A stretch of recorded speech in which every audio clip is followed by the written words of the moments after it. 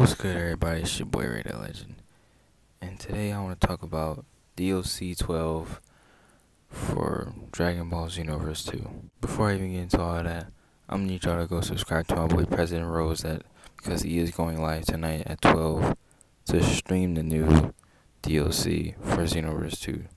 So tune into that live. His link will be in the description. And yeah, without further ado, let's talk about this. So as you may know, they are adding Toppo and PyCon in the game. Um, but we already knew that, of course. And uh, yeah, um, along with new four new parallel quests, I believe, and a new story story mode or story time. Um, not story time, a new story, like you know.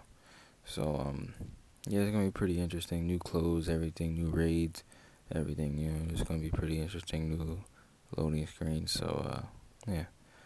Um, also, there is some more stuff coming, which is the votes that you can do now. Um, so yeah. So with votes, it's just you know voting for the next character to be in a DLC.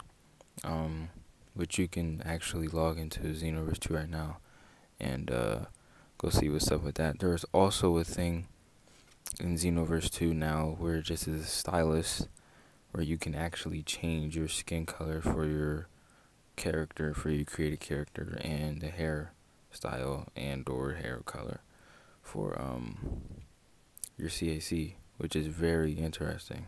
But yeah so overall it is pretty nice you know.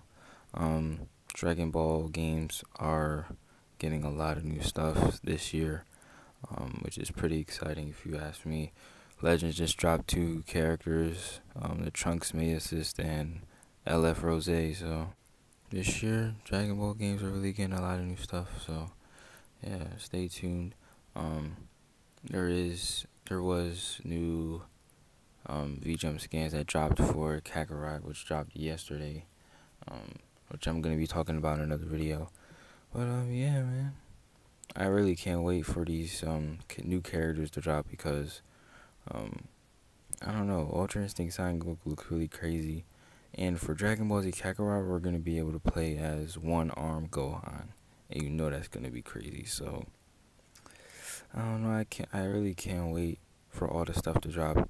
Um, starting with Xenoverse 2, Legends of course, um, Dokkan Battle, all that stuff, man. So we just gotta stay tuned. Remember to press that link in the description press the like button, press the subscribe button if you're new, of course. And um, I'll see you guys tomorrow.